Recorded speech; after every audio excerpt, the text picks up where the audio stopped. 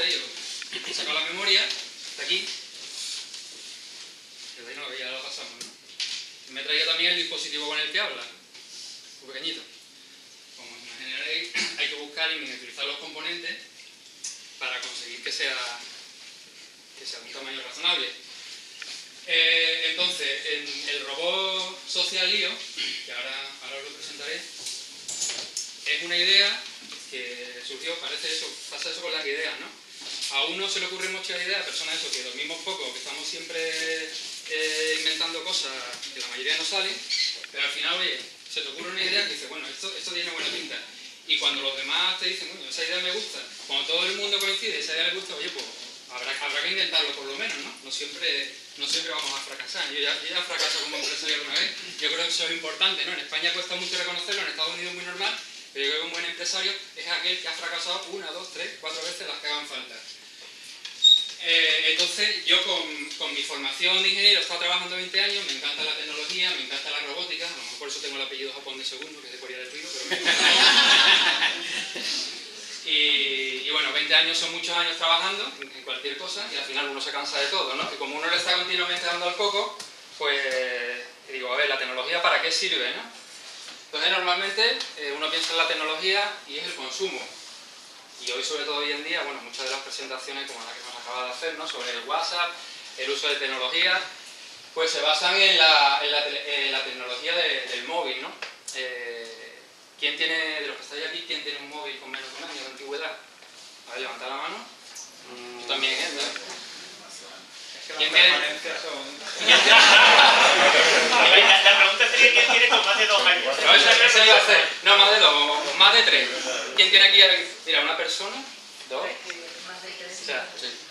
Si os fijáis, los, los, móviles pueden vivir. Yo he, tenido, yo tenido uno de los mejores móviles que había, el Samsung S3, a mí me ha durado cuatro años. Años. Lo que pasa es que lo cambiamos cada dos. Pero sin embargo, fijaros que bien nos lo venden. Es decir, nos han creado una necesidad.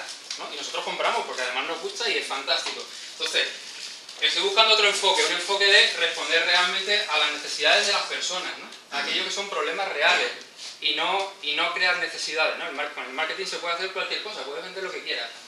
Pero mi enfoque es a quién sirve la tecnología. Yo quiero hacer una tecnología que sea para las personas. Aquí veis un niño pues solo, representa a un niño que puede tener alguno de estos trastornos o una mezcla de ellos. Al final son etiquetas, porque la persona es única. Al final esto simplemente son cosas que se han inventado las personas que trabajan en el mundo de, de, la psiquiatría y de la psicología, que es muy compleja, porque de alguna forma hay que abordarlo. Pero al final los síntomas de autismo, de trastornos de lenguaje, TDAH, muchas veces aparecen unidos. Por eso realmente el robot tiene un enfoque no exclusivamente para el autismo, sino realmente que sea una herramienta de intervención y de apoyo a los terapeutas en el trabajo eh, con los niños. Como decía un poco eh, Laura antes, sí, no se trata de hacer un material o un aparato para trabajar para el autismo, no. Al final es una herramienta, un contenido que dependiendo de cómo lo use la persona, es tan flexible ese material que puede usarlo con niños que no tengan ningún trastorno también, obviamente. Aquí os presento a IO, esta es la foto digital, como decía aquí, aquí tenemos ya partes de él, ahora enseñaré un vídeo. Entonces, eh, ¿cómo apoya al tratamiento? La idea básicamente, eh, la intervención con los niños se basa en, en, cuatro áreas, no me voy a enrollar aquí con, con conceptos psicológicos, pero sobre todo con, con IO lo que queremos trabajar es la faceta social, es decir, algo las máquinas, que es convertir, me quedan 55 segundos, bueno, básicamente lo que quiero es meter en un, en un embudo eh, un robot, eh, las habilidades sociales del autismo y, pro, y producirle al niño un entorno predecible y percepción de control. A los niños autistas les cuesta mucho comunicarse porque no son capaces de tener una, una conversación, no saben cuándo intervenir. De hecho, muchos uh, ni siquiera llegan a hablar, no llegan a desarrollar el lenguaje. Entonces, con un robot, eh, el niño se siente seguro, se siente tranquilo y además no, no está con un ordenador que se dice con un cono, sino que realmente es una interacción hablada. Es un robot que habla, ¿no? como los asistentes de los móviles. Esto, eh, la idea es que realimenta y, permite que el niño desarrolle el resto de habilidades. La persona con autismo le pasa muchas veces que se entiende mejor con los animales, incluso con las máquinas. Ahora si me preguntáis, os explico qué es esta máquina. ¿Qué tiene todo esto común? Son cosas simples. Pues IO es algo simple, tan simple como un triángulo, un rectángulo y un, y un círculo. ¿Qué tenemos al final?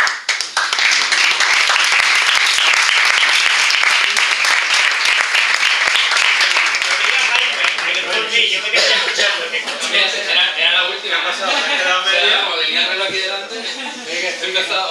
Sigue, sigue, sigue. No, si ya, era la última, ya. Bueno, pues acabarlo. No, lo que iba.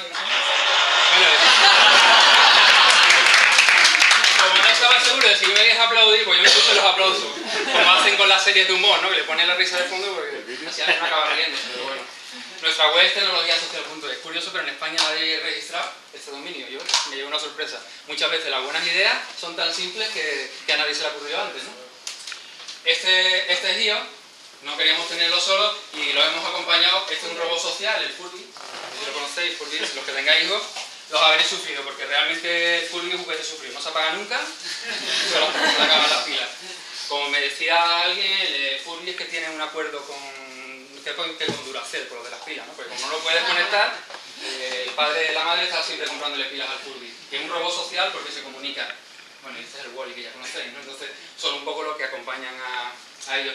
Eh, el que veis aquí, esta es la forma externa. Esto lo estamos, otra de las, digamos, eh, partes innovadoras, esto lo estamos fabricando ahí en, la, en nuestra sede, que tenemos en Gine.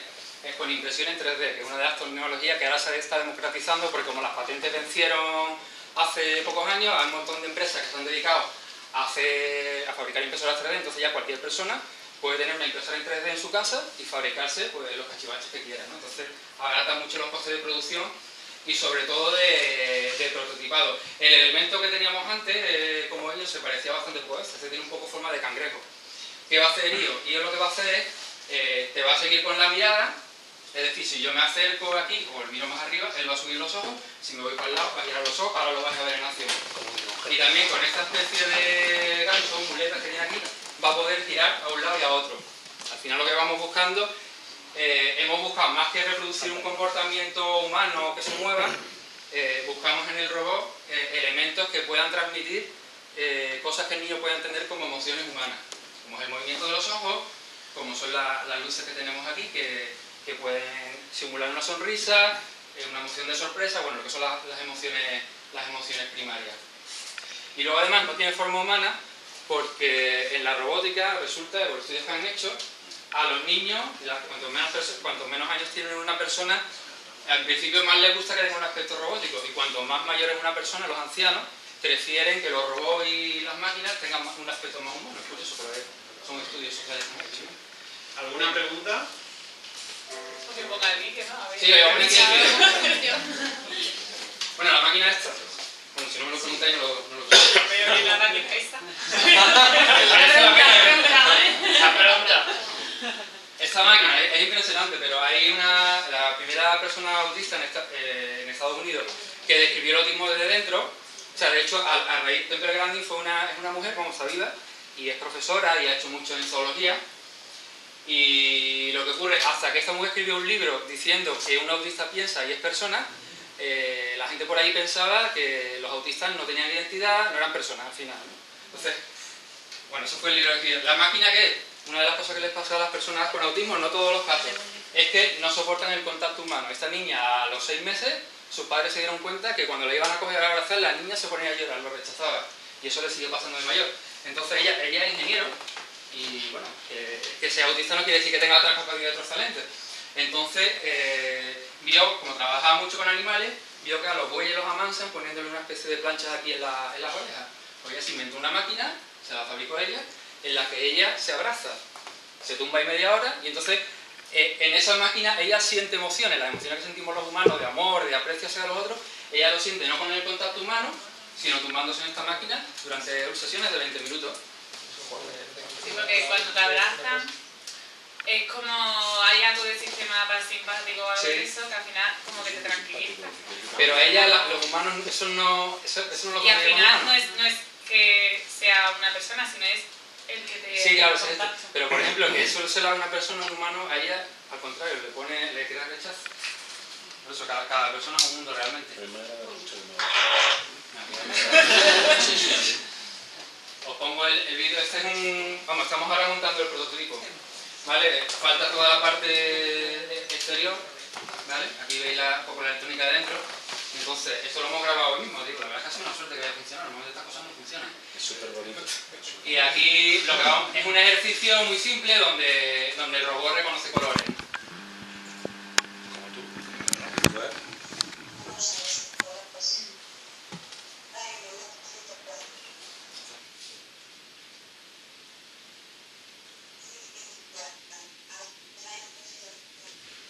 emocionante ahí.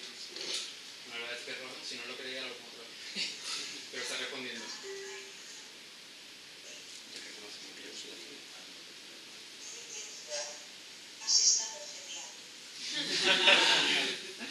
Vale, son las primeras pruebas que estamos haciendo. Y, y ahora ya la verdad es que va a corrido, porque prácticamente entre la semana pasada y esta hemos montado ya cuatro ejercicios. ¿no? Están los artistas del asunto, que son Rubén, yo esto no podría hacerlo solo, que eh, dos ingenieros que no se pelean, aunque uno es de teleco y otro de informática, se llevan bien. Sí, pero normal suele ser que, que se lleven mal. Bernardo, ¿cuándo estará en el mercado? ¿Y qué coste tendrá? Vale, pues estará en el mercado eh, a principios del año que viene. Eh, montaremos a finales de año lo que es la, la tienda online. Están aquí personas que se han presentado antes eh, que están, digamos, participando como validadores. Es decir, no nos hemos inventado una idea fantástica, maravillosa, para que llegue al mercado y, y sirva a todos los niños. Entonces queremos que ellos, como, como psicólogos, como logopedas, como educadores, eh, nos asesoren durante el proceso de desarrollo. Entonces, durante este último trimestre del año, los prototipos que estamos haciendo los vamos a llevar a las consultas, donde trabajan ellos con los niños y donde lo van a probar, de tal forma que lo que saquemos a principios del año que viene sea algo ya que de, de alguna forma responda. Aunque de todas formas es una plataforma, lo que estamos creando también es una plataforma de desarrollo en código abierto. Y no es como otro robot, otras cosas que hay por ahí que te lo dan cerrado. Eh, cualquier centro que adquiera el robot, con personal técnico, podrá crear nuevas dinámicas. La idea que hacemos no como el Furby, que es un producto cerrado, sino que damos una API donde eh, tú puedes adaptar eh, el robot, ahora estamos enfocando mucho al autismo, trastornos de lenguaje, pero realmente lleva un sistema operativo robótico que va a permitir que tú lo puedas adaptar. Eh, Nosotros además creemos que no existe una solución de software para todo el mundo, cada empresa necesita su propio software, entonces por eso no creemos en el software propietario, creemos en el software libre, y de esa forma, dando una API y abriendo el software, eh, entendemos que vamos a dar un mejor servicio a la gente, porque al final nuestra finalidad es social, obviamente, tengo que ganar la vida, nos tenemos que ganar la vida, pero no es crear, hacer una empresa de consumo, sino hacer una empresa social. Mi pregunta es, ¿lo habéis probado ya con niños? Con niños no, por eso decía, ahora en este, Ahora efectivamente, claro, porque así, así no lo podemos llevar a... Así- lo queremos llevar con este aspecto, con esta, o sea, esto es lo que ahora a principios de... A la... Vale. Vale, esto sí es atractivo para un niño ya. De hecho, este es el primero que lo vio mi hijo el otro día y dice, ah, ese me gusta más que ninguno, porque no, te puedes hacer idea de las pruebas que hemos hecho, porque además no es fácil hacer diseño, diseñadores encuentras por ahí, pero hacer un diseño para un robot y que te quepa la electrónica, que te cae todo, pues la verdad es que no, hasta ahora no había centrado en proyectos más difíciles. Mira que trabajaba en sector aeronáutico, sector espacio, es complicado, es complicado la verdad hacer un, y aún así evolucionará. Y que aguante a los niños. Sí, esto, es- esto es. El material de este, este robot es como las piezas de Lego. Sí, la, ¿Cómo son las piezas de Lego? Pues el material es el mismo, es plástico, es ABS, que se. se- vamos, las piezas las, las montan en la impresora 3D. ¿Qué distancia aguanta? es que tengo dos, dos niños de cuatro años. Es el tipo de prueba que Son las cosas que me Lo planteo, a comprarlo. Lo mismo que las pruebas, lo mismo que a los móviles, hacen las pruebas de a ver si a la altura de una persona, hombre, si lo tiras desde el techo se va a romper, pero normalmente tu móvil se cae al suelo y si es un móvil decente no, no le pasa nada. A algunos se le raja la pantalla, pero ese tipo de prueba que habrá que hacer también, claro. ¿Qué tamaño tiene? Pues mira, como esto es un tablet, te puede hacer una idea, tienes unos eh, 20, 20 centímetros de largo y 16 de diámetro, más o menos. 120 minutos, ¿no? Todavía no hemos hecho un trabajo de miniaturización, tampoco era algo crítico ahora mismo. Simplemente con que lo puedas tener en una clase, en una mesa, eh, y luego puedan dar sí, es una de las cosas, aunque hemos buscado la, la diversidad, y el, el robot, digamos, está eh, quieto en un sitio, puede mirar arriba, abajo, si gira, pero realmente, si eh, por la mecánica que tiene dentro, puede avanzar eh, de alguna forma pequeños pasos. No sé si habéis visto el BB-8, no el BB-8, el robot de Star Wars, lo presentaron hace un par de semanas en Estados Unidos. Iba a salir a la venta, bueno, de hecho, Rubén ya creo que reservó uno, ¿lo has conseguido? También en Estados Unidos a 150 dólares, creo que son. Son dos esferas, que una rueda sobre la otra. El robot, ve el vídeo en YouTube, es espectacular. Hombre, no es eso, porque tampoco somos esa empresa, pero digamos que tiene un concepto...